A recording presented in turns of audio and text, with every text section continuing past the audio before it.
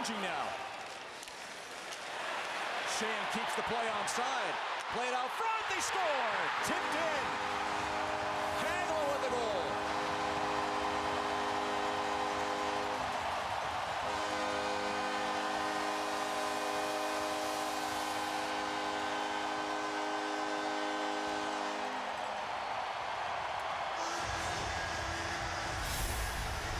big that Matt Murray save look now? The Flyers don't get out of the zone as Couturier, as Hornqvist strips the puck from him, and then Hagelin just goes to the net.